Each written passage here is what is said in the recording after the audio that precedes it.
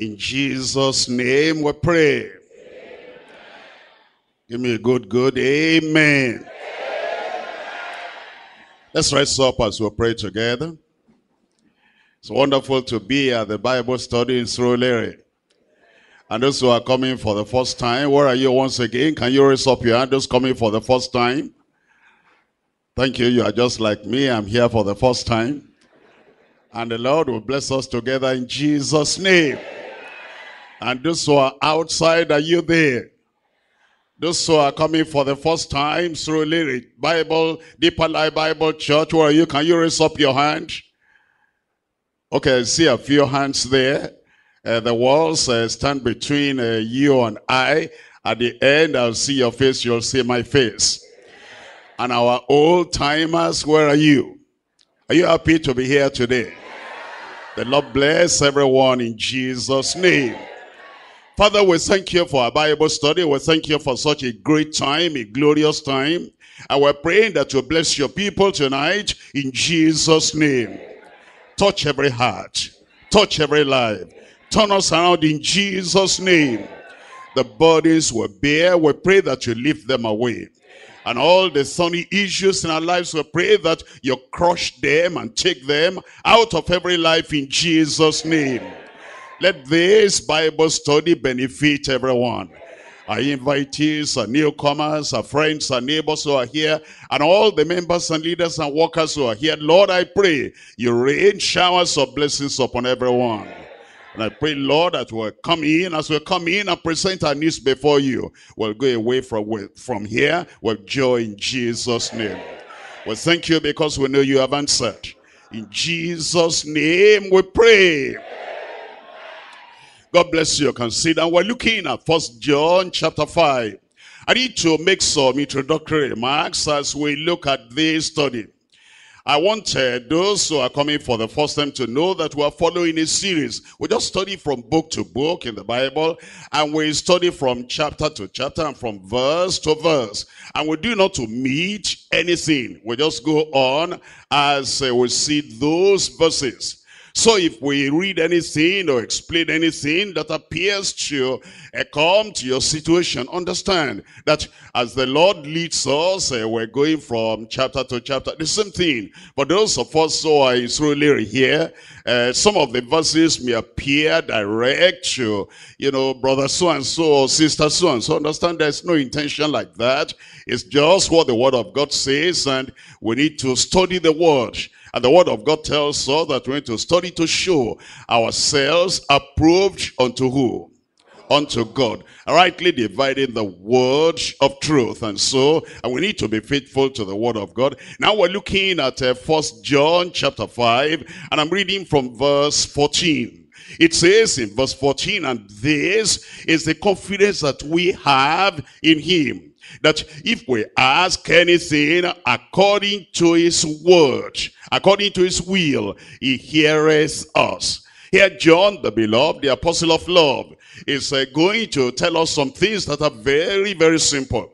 And it's good to tell us some things that are sublime, some things that are very, very deep. As you read the epistle according to St. John, you're going to discover some things are so simple that everybody can understand. Even our little children can understand. As you come to this epistle, you might find that there are some verses that need explanation that need uh, application and that need for us to compare with other scriptures so that we can get the real meat of the word of God. And so John here is teaching us, he says, we have confidence in prayer. And yet he's going to tell us we have constraint in prayer. Confidence on the one hand, because God says, here is my word, here is my will, here is my promise, and here is my provision. And you pray according to this. That's the confidence we have. Is going to answer prayer. And yet John is telling us there are constraints in prayer.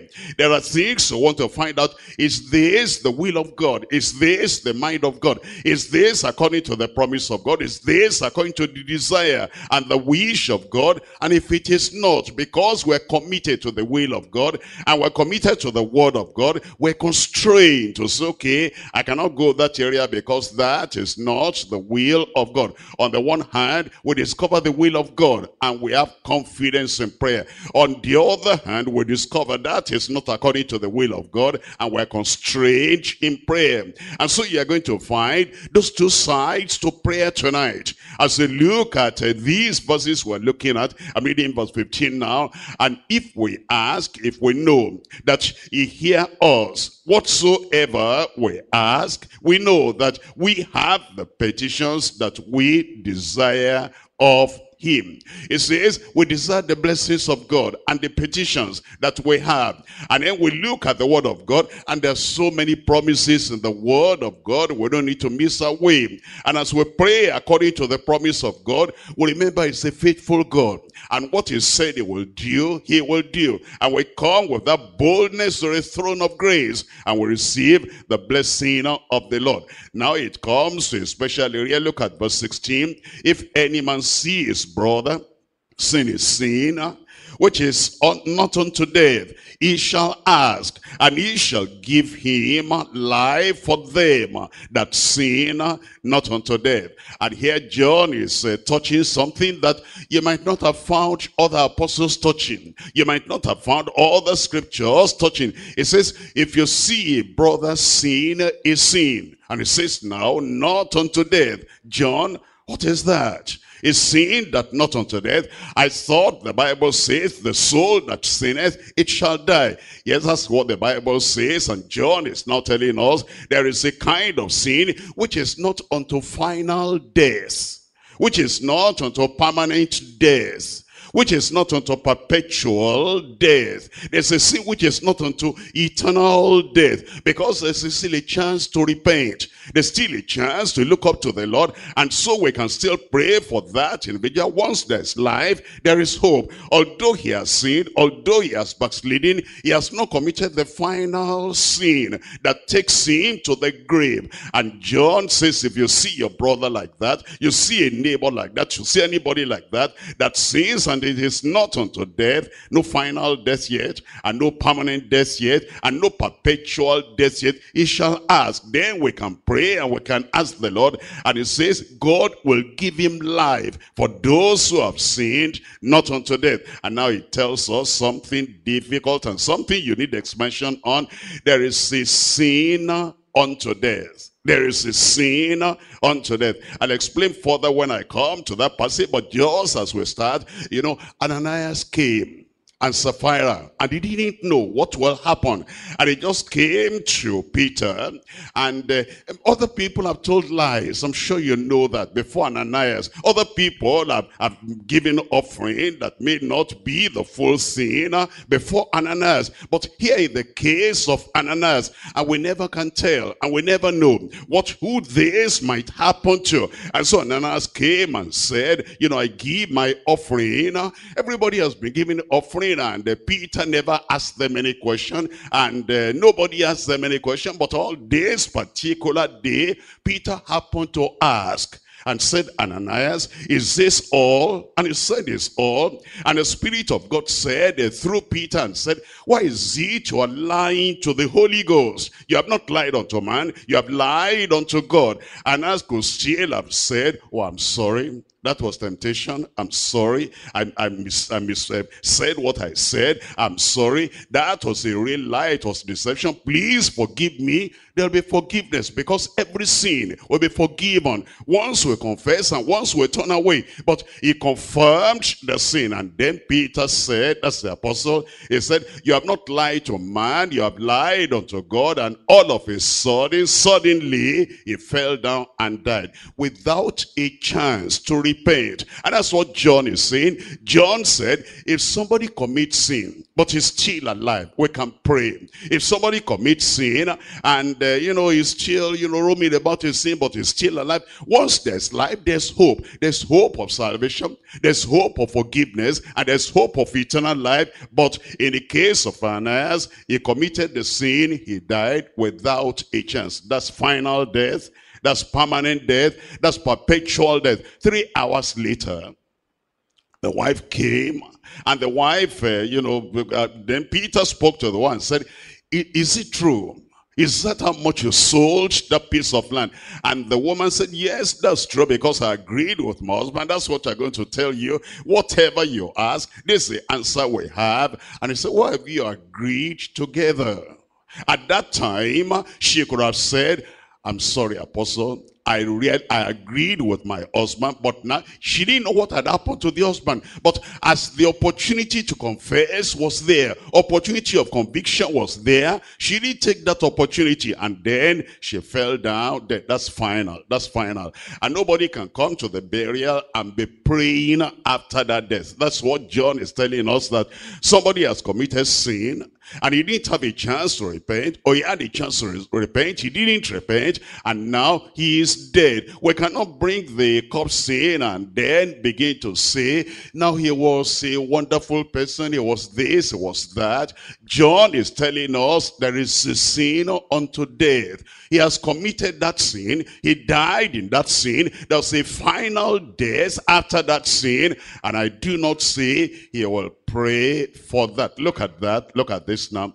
It's uh, telling us, look at that verse 16 again. If any man see his brother, his sister, his neighbor, sin is sin which is not unto death. He shall ask and he shall give him life. That means God. We cannot give anybody life, but you know, as we pray, we can become the channel of that life and the channel of that spiritual renewal, restoration, and the channel of that life that comes from the Lord. He shall give him life for them that sin, not unto death. There is a sin unto death. I do not say that he shall pray for it. Now you understand. All unrighteousness is sin. And when there is sin, there's backsliding. When there is sin, we need confession and forgiveness. When there is sin, we need a restoration to the grace of God and to the family of God and to fellowship with God. Yet, the final death has not taken place. That's why it says,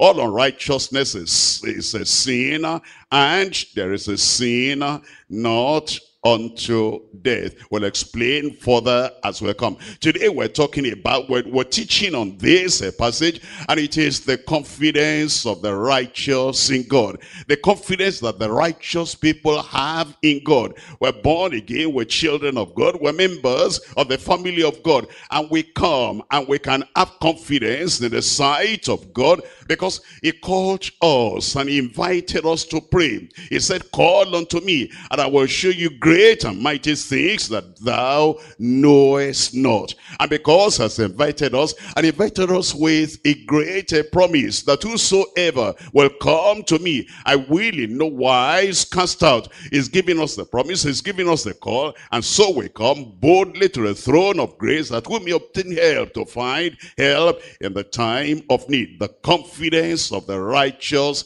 in God. Who are the righteous? Not the self-righteous, not the goody-goody people, not the people that said I'm better than this and that. The people who have confessed their sins and the people who have given up their sins and the people who know that Jesus Christ is the only righteous one, the righteous Savior, the righteous Redeemer. And we are sinful and then we confess our sins unto God and we look at the lamp of, of God that taketh away the sins of the world. And we say, because of him, because of him, we receive forgiveness and we receive eternal life and we receive salvation. Those are the righteous people. There's an exchange. There's a transaction. We give him our sins. He gives us his righteousness and that makes us righteous. Now such people who are being, who have gone to Calvary, such people who have been to the foot of the cross and their sins are forgiven and they have assurance in their hearts. They're children of God. Those are the righteous. The confidence in of the righteous in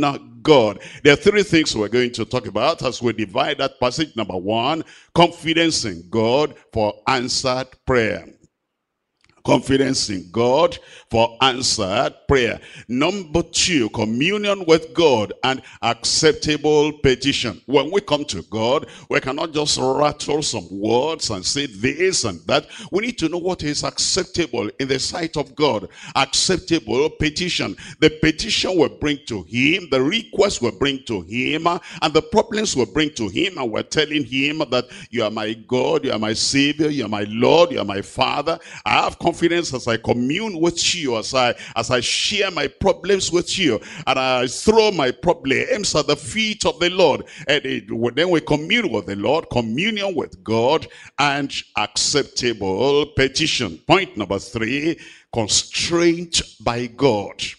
Constraint by God. That word constraint means restriction. He says he restrains us in a way and he restricts us in a way and we're constrained that we cannot bring this kind of petition before the Lord constrained by God concerning apostate perverts. Apostate perverts. We'll get to that when we come to that point. We're coming to point number one now. What's point number one over there on your outline Confidence in God for answered prayer. He will answer your prayer.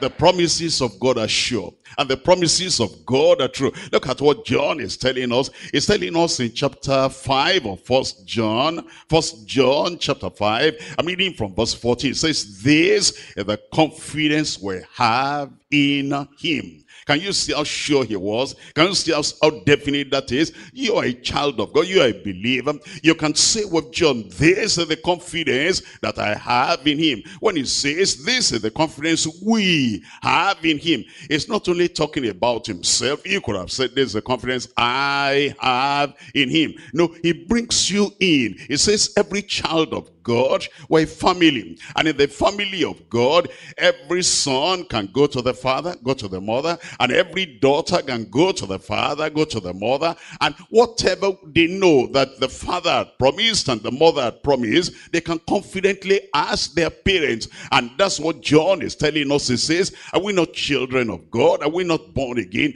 Are we not members of the family of God? Why are we afraid? Why are we timid? Why don't we come to the Heavenly Father like other people come? And you see our fathers and mothers and our families, they don't think about our class, about our grade, about this, about that.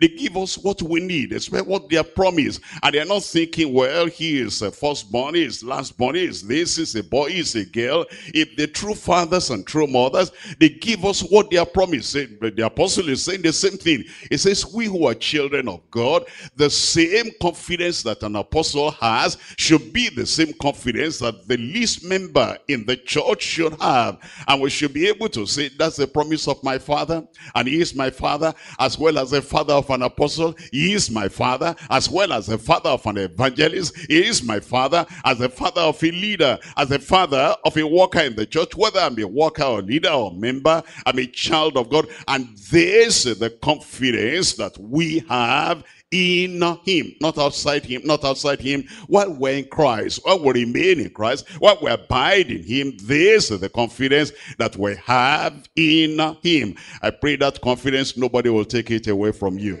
Look at uh, First John chapter 3, and I'm reading here from verse 20. From verse 20 it says, For if our hearts condemn us, God is greater than our heart and knoweth all things. It says, you know, what erodes our confidence? What makes us timid and fearful and frightened? Coming to the uh, presence of the Lord in prayer, it says, because our heart is condemning us. There's a monitor in our heart. There's a policeman in our heart.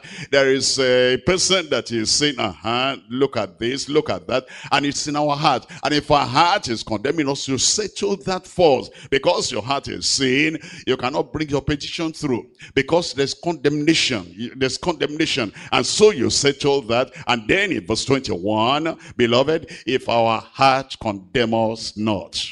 That's the grounds of faith. If our hearts condemn us not, that's what gives us assurance. If our hearts condemn us not, that's what brings confidence. Then we have confidence toward God.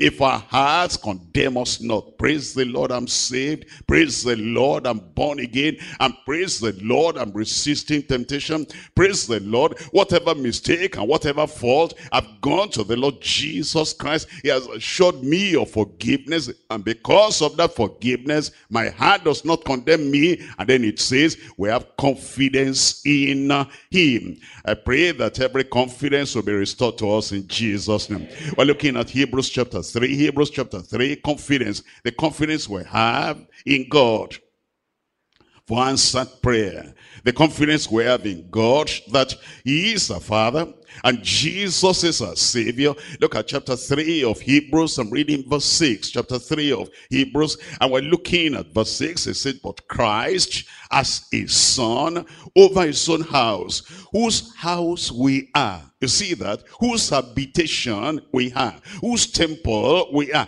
If we hold fast the confidence and the rejoicing of the hope from, uh, that is firm unto the end.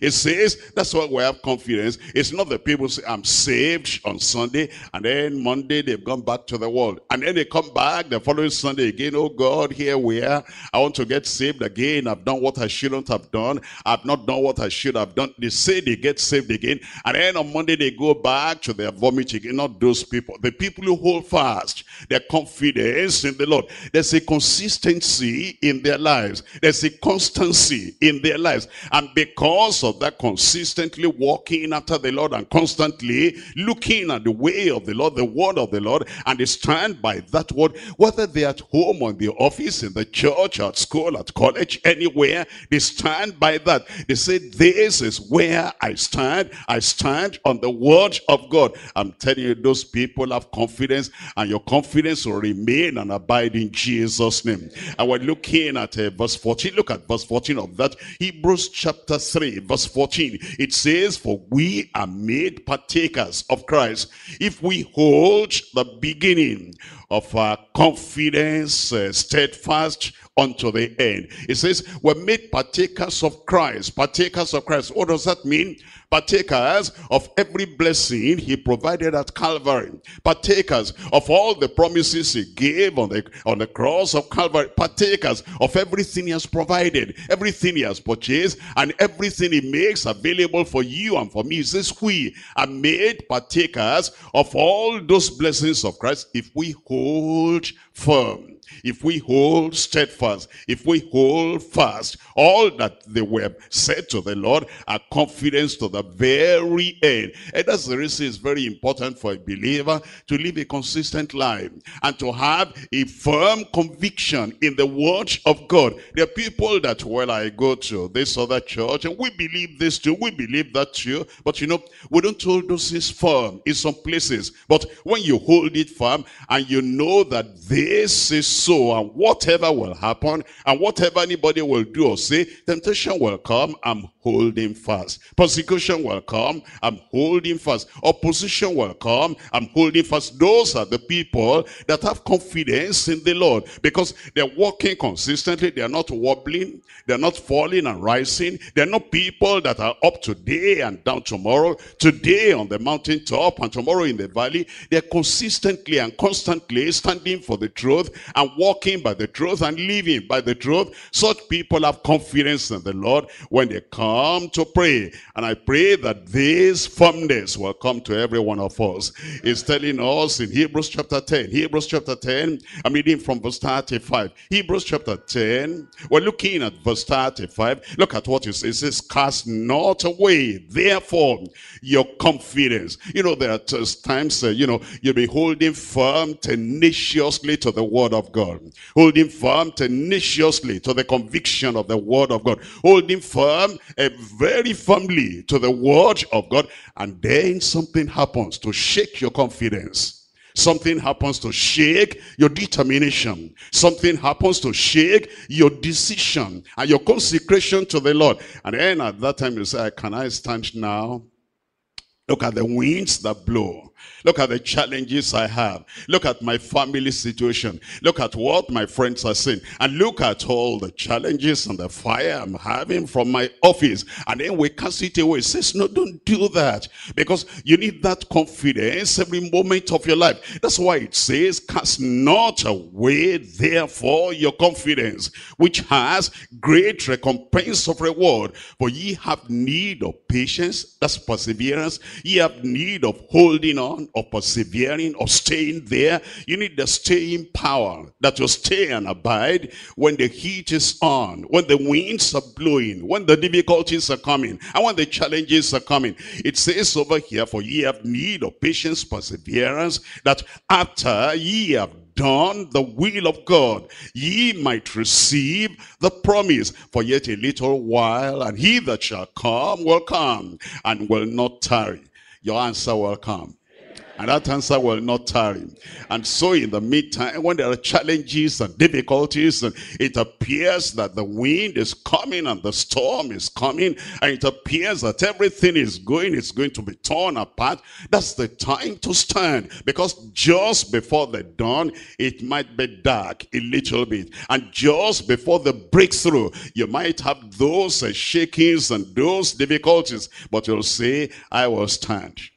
Somebody there, I will stand. I said, I will stand.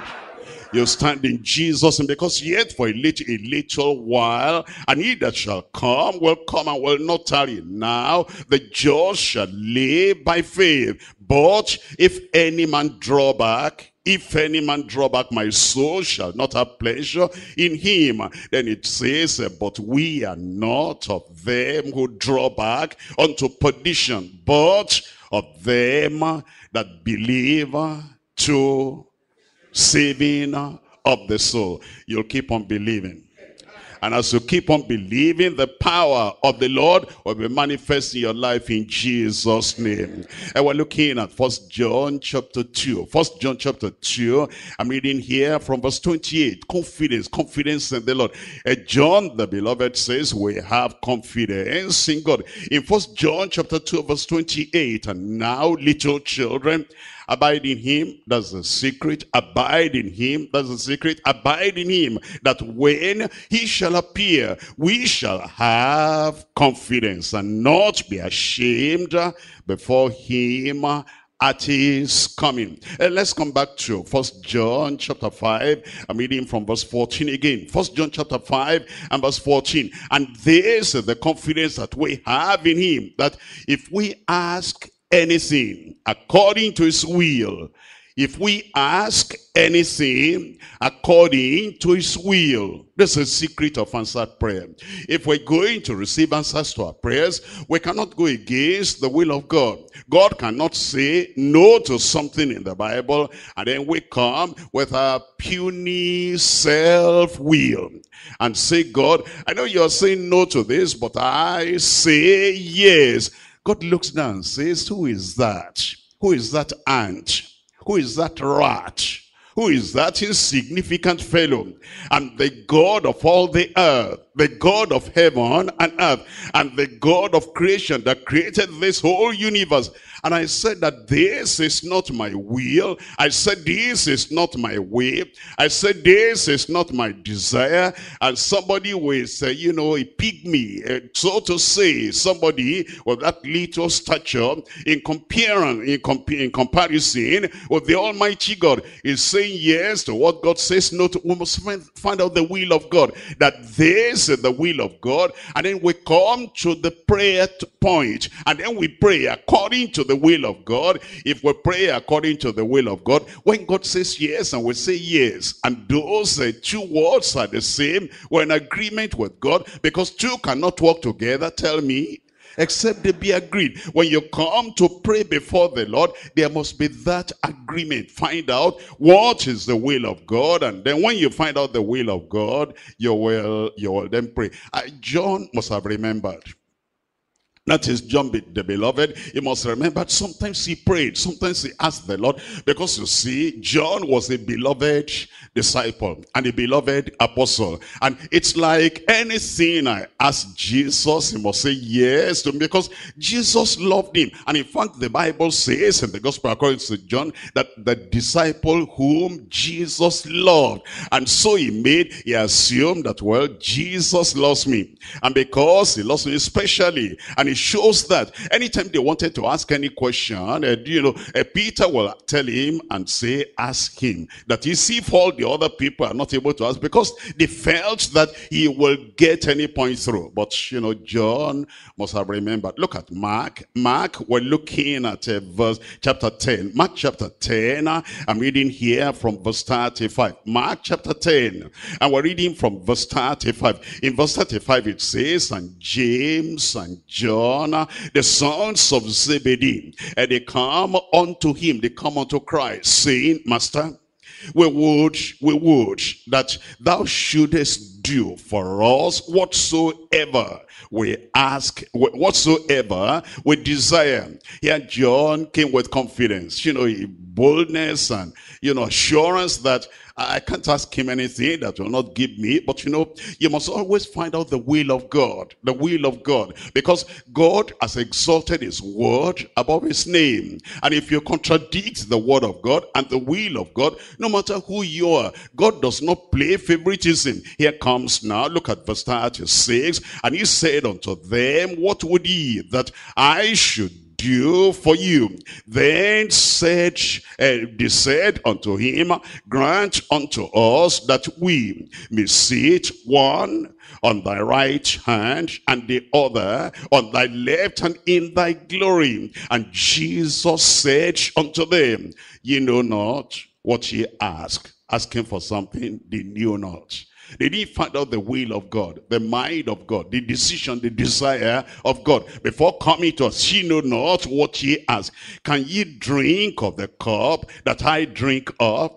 and be baptized with the baptism that I am baptized with. And they said unto him, Tell me, we can, we can, we can. Whatever it will take, whatever the price will be, will pay the price. We can. And Jesus said unto them, Ye shall indeed drink of the cup that I drink of, and with this with, with the baptism that I am baptized with withal shall ye be baptized. But to sit on my right hand and on my left hand is not mine to give, but it shall be given to them for whom it is prepared. You see that? Jesus said, no, you can't have that. You didn't find out the will of God the mind of God, the decision of God. They just came and you're thinking, I'm his favorite and he knows me and I know him. Anytime I want to ask anything, I can ask. And after all, it's whatsoever, whatsoever, that whatsoever is qualified by the will of God. You find out, is it the will of God? That's why John now haven't learned his lesson. That's why John is saying, I learned my lesson. I thought I could just go to the Lord and ask anything, whether it's his will or not, but I've learned my lesson. It must be according to the will of God. Look at James chapter 4 verse 3. James chapter 4. We're looking at verse 3. It says, uh, James chapter 4 verse 3. Are you there? Are you opening your Bible? I said, are you opening your Bible? James chapter 4 verse 3. It says, ye ask and tell me, receive not, because she has come that she may consume it upon your lusts. It says, you're not thinking of my glory. You're not thinking of my exaltation. You're thinking selfishly for yourself. You're not even thinking of the whole body of Christ. You're not thinking of the need of another brother or the need of another. You're not thinking about the standard of the word of God. You're not thinking about holiness. You're not thinking about heaven. Just about yourself. Lord, give me this. Lord, give me this. I don't know what you're asking. It says she and receive not because you ask amiss that he may consume it upon your loss. But when you find out what is the will of God, when you find out what is the promise of God, when you find out what does God have for me in particular that is going to give me so that I can pray, pray in the spirit and pray according to the will of God. And that's why the spirit need to help, help us because the spirit when it helps us in Romans chapter 8 verse 27, Romans chapter 8 verse 27, when the Spirit is helping us, He makes us to pray according to the will of God. Makes us to pray according to the will of God. Romans chapter 8 and verse 27. It says, And he that searches the hearts knoweth what is the might of the Spirit, because he maketh intercession for for the saints according to how according to the will of God. You see, that's prayer, that's prayer, that's prayer, according to the will of God. Uh, sometimes you hear about, you know, some people, they say they are prophets, and they say that they are prayer warriors, not in this church. You know, the prayer warriors are everywhere. And sometimes they, they just say, they even sometimes write in the papers and they say, bring your request, whatever it is, we will pray for you and God will answer. And these people know next to nothing about the Bible and about the will of God. And then so, some people go to them and they say, what do you want? It says there's somebody in my office and that person is, uh, you know, a pain in my neck and sun in my flesh. I want him to die. And this a so-called prophet will say, when do you want him to die? How, how long do you want him to live? And then they'll say, I want him to get off uh, from that, from this earth in one month. They say, okay, can you pay this amount? I'll pay anything. And then they give them the money. You know, those are traders prayers. Those people are praying to it. They're not praying according to the will of God. If you pray that somebody should die, that person is not saved yet. You want him to die and go to hell. That's not the will of God. Even if the person is saved, a child of God, you want a child of God to die and you're praying to God. You're saying, God, this is one of your children. I'm praying to you. I know you are his father. I want you to kill him. It's like coming to a father on your street, on in your community and say, uh, Father, you know, one of your children offended me and I don't want to touch him by myself. I want you, yourself, the father, to kill that your son for me. Will the father do that? And the, the, people that are going to God and they are saying, God, I don't, I don't like uh, Pastor so-and-so. I don't like uh, Sister so-and-so. I don't like so-and-so. So God, I know you as. I know he's born again. I know he believes in holiness. And I know that, you know, he's uh, walking holy and righteous. But, you know, I don't like him. Because I don't like him, kill him for me. Will God kill him for you? That's not the will of God. We must pray according to the will of God. There are many things we can pray for. There are thousand and one things you can pray for. Why are you going to pray for things that God will not answer? You know, somebody says, you know, I know God said I shall come and he will give me anything. And then, um, you know, uh, he's read in the papers and he's been, you know, looking for a wife to marry. And of all these uh, beautiful sisters, you know, he cannot find a one there. He says, I don't want somebody black. I want somebody who's white. And uh, so he goes to pray and he says, God, I just heard that our president went to China and, uh, you know, came back. And now that Chinese uh, currency is going to be flowing between Nigeria and, uh, and uh, China. And you said we can ask anything. Lord, I give you date from this time to six months time. I want to marry a Chinese. Uh-huh. Once you marry a Chinese, do you know their language? No, I don't know. Have you ever been there? I've not been there. Do you even have passport? I don't have passport. God can do anything and everything. Uh-uh, stay over here. God has somebody for you to marry here. You get the point I'm making? The people that just pray, they don't know the will of God. They're not finding out the will of God. This is what I want. No, the prayer doesn't work that way. You'll find out what's the precept of the Lord, the promise of the Lord, the provision of the Lord, and then you pray according to the will of God. And I'm telling you tonight, God is going to answer your prayer praying according to the will of God. What do we know to be the will of God? Look at Second Peter chapter 3. Second Peter chapter 3, and I'm reading here from verse 9. Second Peter chapter 3, and we're reading from verse 9. It says in verse 9, the Lord is not slack concerning his promise, as some men count slackness, but is long suffering towards what? Not willing that any should perish. You see that? Not willing that any should perish. Not willing that anybody should die in sin. Even your enemy is not willing that that person should die and go to hell. And even the people that oppose you or persecute you is not willing that any of them should perish and go to hell. So going to pray that God will hurt them, destroy them, kill them, it's not going to be answered. If anything happens to them, God has not answered you, Satan has answered you. And if Satan is answering you, guess where you are. Guess who you are. I pray you'll not go to Satan's side. Is not willing that any should perish, but that all shall come to repentance. When we're praying for somebody to be saved, we're praying according to the will of God. When we're praying, oh God, if this is what this fellow needs so that he'll get saved and come to you, do it for him. We're praying according to the will of God. If this sickness is what is disturbing this fellow, if this uh, joblessness is what is disturbing this fellow, and if we, you give him a job or you heal him, if that will draw him him to you and get him saved. Oh, oh Lord, please heal him and please give him a job. That's according to the will of God. This person has a problem child and this sin is not allowing him to even concentrate or come to the Lord or give his life to the Lord. If healing this child is going to help this man or this woman to come to the Lord so that he will not perish, oh Lord, heal the child. We're praying according to the will of God. Whatever will help the people to get saved, whatever will help them to come to repentance, or maybe a brother, a sister, will see that, you know, is working for God and has been working for God, but sometimes a problem arises, and because of that problem now he's cold, and then he's dragging his feet, and then you go to him and uh, you say, my brother, what's happening to sister? What's happening to you? He says, you will not understand.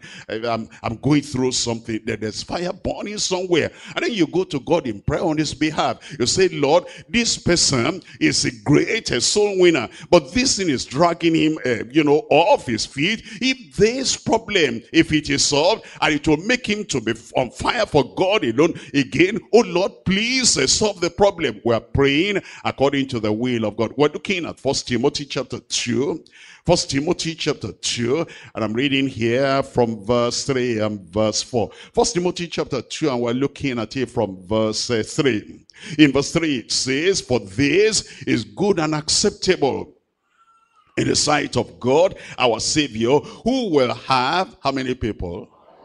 Tell me out loud who will have all men to be saved and to come to the knowledge of the truth. You see that? We know how to pray because he wants all people. This is the will of God. He wants all people to come to the knowledge of the truth and to be saved. And if we're praying that whatever will help them and drive them to Calvary, whatever will help them and keep them at Calvary, whatever will help them and keep them in salvation, bring them to salvation, bring, keep them in that salvation, that's the will of God. But if we're praying for other things that will hinder people from knowing the Lord, if we're praying for something that will hinder people from uh, staying with the Lord, that's not according to the will of God. We're looking at First Thessalonians chapter 4 verse 3. First Thessalonians chapter 4 verse 3. It says, for this is the will of God, even your sanctification even your holiness. We know what to pray for. We know that this is the will of God. Anything that will help them to be holy, help them to be sanctified, help them to be purified, help them to stay in a blameless, righteous life. That's the will of God. And it says, if we ask anything according to his will, he heareth us. Let's come back to First John chapter 5. First John chapter 5, I'm reading here from verse 14 and verse 15. It says, and this is the confidence that we have in him. Now you have confidence in him. I said, now you have confidence in him. And this is the confidence that we have in him. That if we ask anything according to his will, he heareth us. He heareth me. He will hear you in Jesus' name. And if we know that he heareth us, whatsoever we ask, we know that we have the petitions that we desired of him. We have petitions that we desired of him. Look at chapter 3 verse 21. Chapter 3 verse 21. That's first John chapter 3 verse 21. Beloved, if our hearts condemn us not, then we have confidence toward God. And whatsoever we ask, we receive of him because we keep his commandments and do those things that are pleasing in his sight. Our lives uh, match with the word of God. We're, we're walking straight and walking uprightly. And because of that, we know that God delights in us. We abide in his word. And we're praying according to his will, according to his word, and according to his provision and promise. Because of that, we know that the Lord is going to answer our prayer. We have the petitions we desired of him. We're looking at John chapter 15. John chapter 15. I'm reading here from verse 7. John chapter 15, we're looking at verse 7.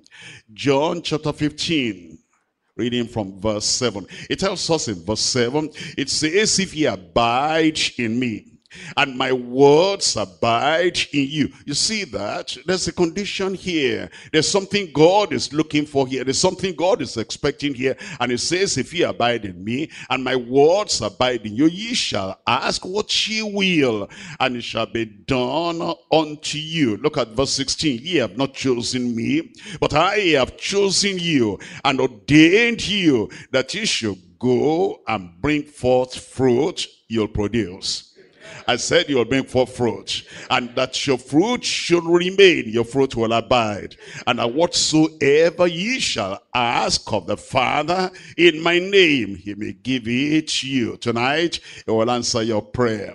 And as you pray according to the will of God, there'll be no disappointment in your life in Jesus' name. We're coming to point number two. Now, point number two, communion with God and uh, acceptable petition. Communion with God, an acceptable petition. We're looking at First John chapter 5, and we're reading from verse 16. It says, if any man see his brother sin is sin, which is not unto death, he shall ask, and he shall give him life for them that sin not unto death. Uh, let's look at that uh, verse uh, because it says he, him, his, and all that. And uh, look at that verse as I read now, but pay attention. If any man, if any believer, any child of God, anyone that will be, well, we're talking about him from verse 14 and verse 15. And he's talking about the person that has confidence in God, the one that knows the word of God, the one that knows the will of God. If any man like that, any believer, see his brother, see a fellow believer, see a brother or a sister, see a child of God, sin a sin which is not unto death, which is not unto final death, is not Ananias. Thank God your brother is not Ananias and your sister is not Sapphira, and the final death has not come, and the perpetual death has not come, the permanent death has not come, the eternal death has not come. It says, if a brother a child of God, see a brother or sister, sin is sin, which is not unto perpetual death. He, the brother who saw him, shall ask. He will not gossip. He will not go to other people. Hey, how many years do you have? I saw something. I saw somebody. You will not believe this. Brother so-and-so, see what he did. I saw it. He cannot deny. I saw it like this, and I told him, I will tell people. He, didn't tell, he didn't talk about those people. He's not talking about those who gossip, those who whisper, those who go here and there. I saw sister so-and-so, I saw brother so-and-so. He said, he shall ask. That means he shall pray. And then he says, and he shall give him. That means, and God who answers prayer, God will answer your prayer. When you pray for a backslider, you don't, if you don't gossip, if you're concerned, if you have a deep hurt in your mind, and you say, brother so-and-so, we love him, sister so-and-so, we love her, and see what she's going through. If you don't gossip, if you're not going about and saying, well, I know the secret, I know what happened, I know what did not happen, if you will pray, he shall ask, and then God will give him life for them that sin, not unto death, that is not unto perpetual death. Look at verse 17. All unrighteousness is sin and there is a sin not unto death. Now, what does that mean? There's a sin not unto death. Does that mean, aha, okay, there is a sin not unto death. I'm going to get a list of those sins because I know these sins are not unto death. And then I'm still a Christian, I'm still a believer, and then somebody catches you doing something wrong, sinful, and he says, ah, see what you have done. Hey, don't accuse me. You know what? The sin I've committed is not unto death. And then he does another sin, and then you try to correct and say, brother, looks like you are becoming careless in your life. Look at what you've, uh-uh, uh, don't, uh, I know the Bible now. Because now I know there is a sin not unto, the one I have done is not unto death. And it's going about like that. That fellow is misinterpreting scripture. Am I right or is he right? I said, is that backslider right or am I right? Uh-huh. Because, uh, you know, the people that go about and they take the Bible, they use the Bible as an excuse for sinning. The soul that sinneth, tell me, it shall die. The wages of sin is death. But you see, this is the window of the mercy of God. This is the window of the grace of God. And we don't, uh, you know, we don't go through the window every day. It's a window. It's just an opening that the Lord has said, should there be an emergency, that there's going to be confusion, should there be an emergency and the devil is saying, aha, you have done it, you will die. You will never be saved again. God will never forgive you. It is final. It is final. You can jump out through that window. This one is not the door. This is not where we go through the door every day and every time. The grace of God is there because they say the grace that bringeth salvation has appeared unto tell me all men, teaching us that denying ungodliness and worldly laws, we should live soberly, godly, righteously in this present world. And we're looking for the coming of the Lord. But let us understand, should anybody have temptation and then the fellow sins, and then the devil is saying it is final. Then you will say, no, this is the window of opportunity for me to escape. And this is the window of the mercy of God and of the love of God. Thank God I'm still alive. After that sin, I'm not happy that I sinned. I'm not happy that I did something wrong. But after that sin, thank God I didn't die. I will not die. I said I will not die. Say it for yourself, you will not die. You will not die in sin in Jesus' name. At that time, you now run to Calvary because you know that God has still kept you alive and God still has a purpose for keeping you alive. And whatever you ask, the Lord will forgive in Jesus' name. And that's what he's talking about. Let me explain this with the Bible. I'm looking at uh, Numbers chapter 12. Numbers chapter 12, and we're looking at verse 13. Numbers chapter 12 and we're reading here from verse 13 numbers chapter 12 and we're reading from verse uh, 13 and this is the story of uh, miriam. What happened to her in the wilderness on the way to the land of promise? It says and moses cried unto the lord saying heal her now o god heal her what happened?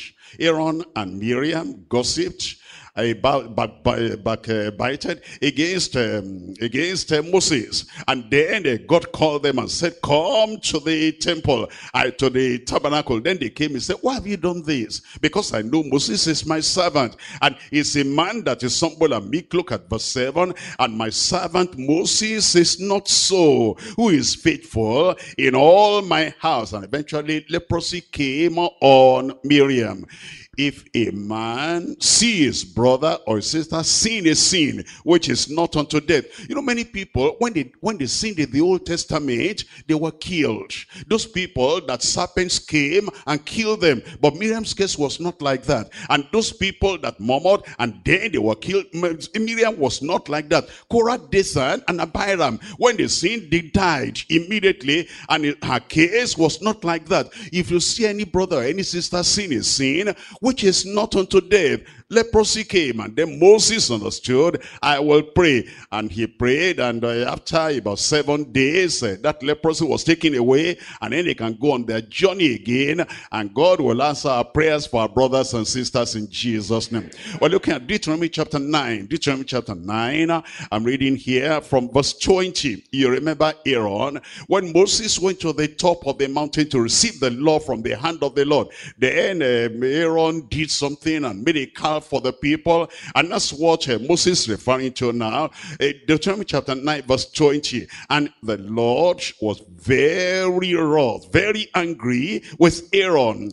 to have destroyed him, to have killed him. And I prayed for Aaron and uh, the same uh, also the same time. He said that's what he's saying.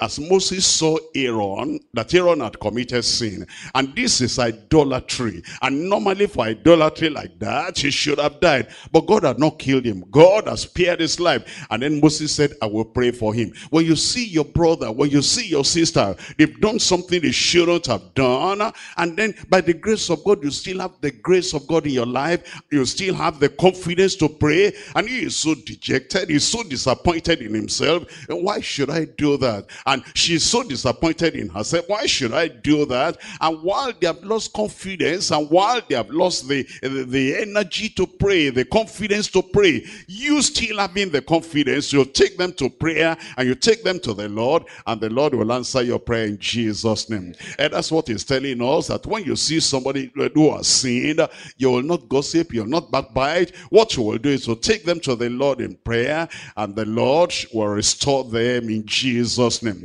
We're looking at Luke chapter 22. Luke chapter 22. I'm reading from verse 31. Luke chapter 22, we're reading from verse 31. It says, And the Lord said, Simon, Simon. And uh, Satan, behold, Satan has desired to have you, and that he may sift you as wheat. But I have prayed for thee. You see the example of Jesus Christ. It has not even happened. But Jesus knew it was, it was going to happen. And he said, I have prayed for thee, that thy faith fail not. And when thou art converted, strengthening thy brethren. Eventually, because uh, Peter was not watching, he was not watchful. That thing happened. And then look at what happened. We're looking at verse 61 in verse 61, and the Lord turned and looked upon Peter. He sinned. He told a lie. He even cursed. He said, I don't know Jesus Christ. You know what Jesus said? If you deny me before men, I'll deny you before the angels of God in heaven. But he prayed for him. And when that thing happened, although Jesus was going to Calvary, he was bearing his own cross, although he was going through pain and suffering, but he still remembered Peter. What a lesson for us. Uh, you know, brother so-and-so is having a challenge. Sister so-and-so is having a challenge. And you have your challenge you, but thank God you can still pray. But brother so-and-so maybe he's tired, he cannot pray again. Sister so-and-so is that, she cannot pray again, but you can still pray. You will forget your own problem. If a brother sees brother, if any man sees brother sin is sin, which is not unto final perpetual death, he shall ask, and God will give him life for them that have sinned not unto death. And so Jesus Christ in verse 16, it says, And the Lord turned and looked upon Peter, and Peter remembered the words of the Lord, how he had said unto him, Behold, eh, before the cock crow, thou shalt deny me thrice. And Peter went out and tell me the rest. Went bitterly. Was he forgiven? Was he saved? Was he restored? Of course, he was restored. Jesus has prayed for him, but he still had to repent. You see, our prayers alone cannot restore a backslider. Our prayers alone cannot save a sinner. The sinner must still repent. The backslider must still repent. But our prayer will soften their heart. Our prayers will draw them to Calvary. Our prayers will bring conviction upon them. Our prayers will make the Holy Ghost to convict them and drive them on their knee, drive them to their knees, and they will be saved saved in Jesus' name. And so when you've seen somebody done something wrong, when you've seen somebody go the wrong way, you will pray and God will answer our prayers and save them in Jesus' name. We come to point number three now, which is constraint by God concerning uh, apostate perverts, apostate perverts. Or you seeing that word apostate as an adjective to cover uh, to qualify the pervert. You can do that. It says, uh, look at this in First John now, chapter 5. First John chapter 5. We're looking at uh, verse uh, 16. First John chapter 5, verse 16. If any man his brother sin is sin which is not unto death, he shall ask, and he shall give him life for them that sin not unto death. Do you understand that now? Uh -huh. Look at the last part. There is a sin unto death. I do not say that he shall pray for it. There is a sin unto death. I do not say that he shall pray for it. And John wants to balance up everything. He wants to tell us that uh, there are people that pray, they, they think they're doing what is right. Uh, let's say, for example, somebody has died in uh, our community. And we know that the fellow was, uh, you know, doing something wrong. In fact, he went to, he was on an errand, he was on a job, this night uh, job, uh, to destroy other people and to take other people's property. And then as the shootout came, eventually he was gunned down and he died. And then they now, all the relatives now, they pick him up because what has happened has happened. And they bring him to the church. And their church will look at the records and say, yes, his name is um, such and such, is a Christian name. But uh, there's only one problem that since he was baptized and since uh, he was confirmed, he has not been consistent in the church. If he had been consistent, he should have uh, paid this due and this due and this due, but he did not pay. And the relatives said, no problem, how much is it? And then they mentioned the amount, and the relatives bring out money and they pay for him. And after the money has been paid, meanwhile, while the fellow is in the mortuary. And after about uh, two months in the mortuary, now they make all the arrangement and, you know, the priest now wants to come and pray. Remember the fellow died, he went out, uh, you know, shooting and all that, and he died in sin. He didn't have any chance to repent, he just died right there.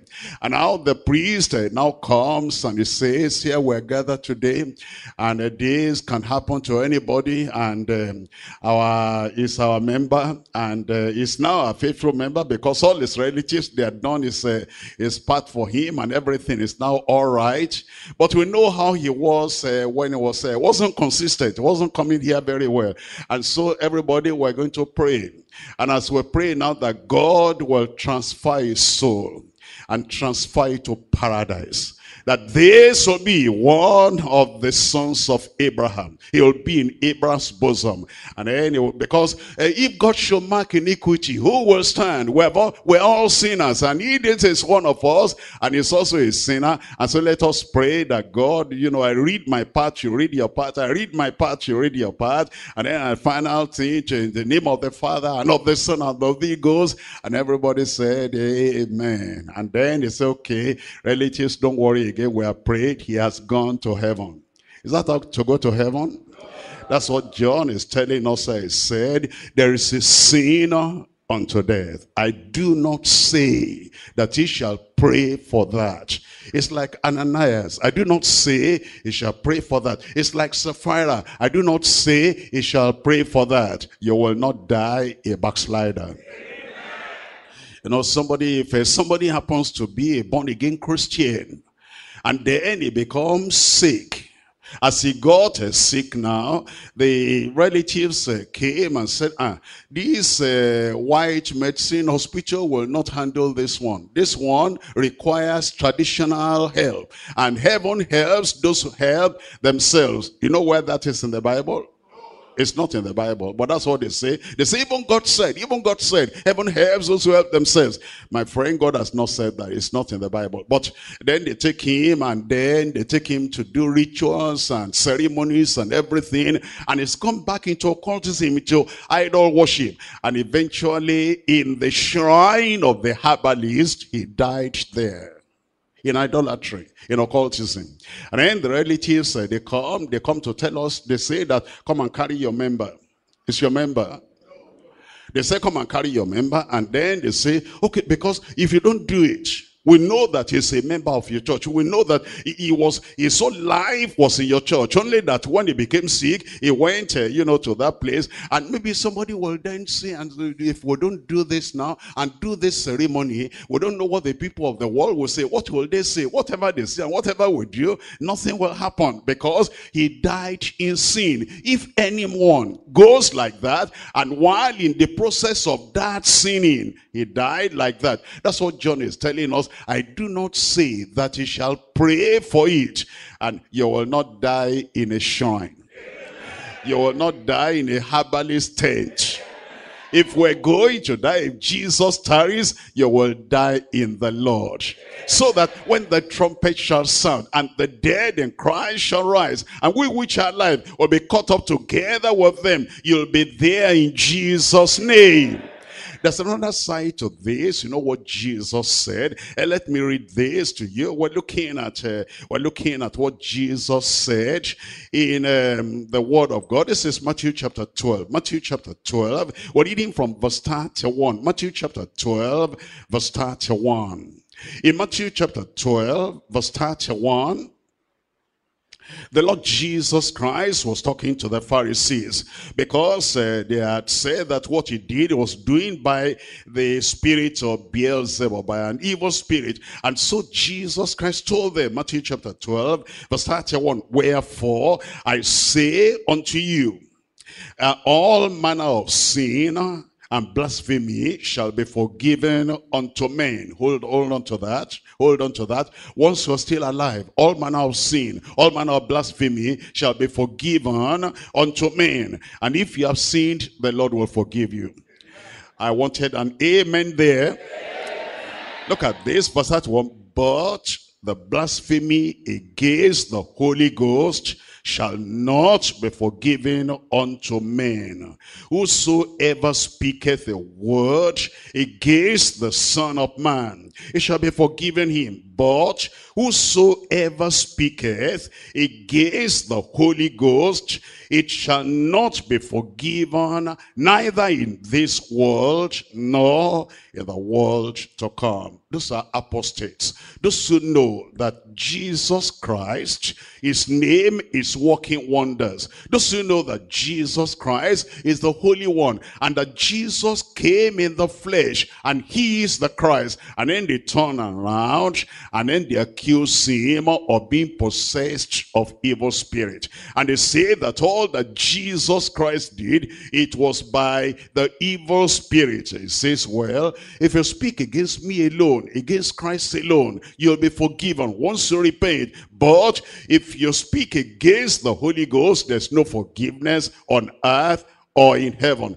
That's the unpardonable sin. And John was there. John was there when Jesus was saying that. That's why he said, there is a sin unto death. John, what's that? He said, those who speak against the Holy Ghost and those who accuse the Holy Ghost of walking by the power of Satan, he said there's no forgiveness here on earth or in heaven or anywhere or anytime.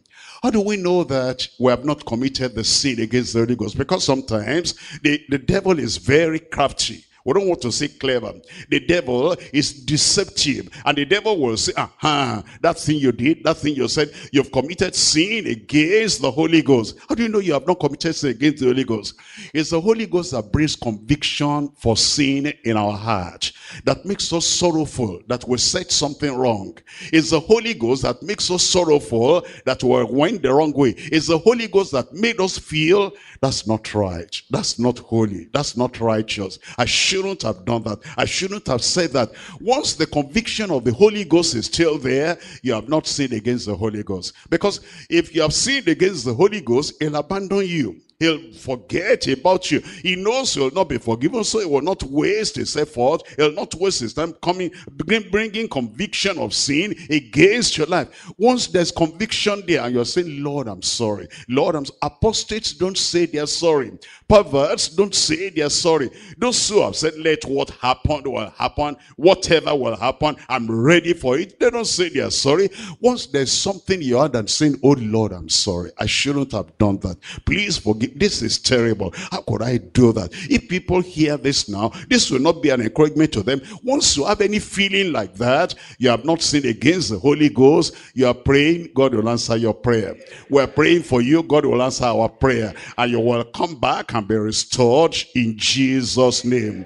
The only thing is that we shouldn't continue and continue and continue and become hardened in sin. Don't allow the deceptiveness uh, of sin to hinder you and to harden your heart. We're looking at Hebrews chapter 3. Hebrews chapter 3 and we're reading here from verse 12. Hebrews chapter 3 and we're reading from verse 12. It tells us in verse 12 warning us to be careful so that we do not go too far in uh, the way of righteousness. It says in verse 12, take heed, brethren, lest there be in any of you an evil heart of unbelief in departing from the living God. While the grace of God is still there, and while the Spirit of God is still communing with you, be very careful you do not depart from the living God. It says, but exhort one another daily, while it is called to today, lest that, lest any of you should be, tell me, hardened, sin hardened people, sin hardened people. Let any of you be hardened through the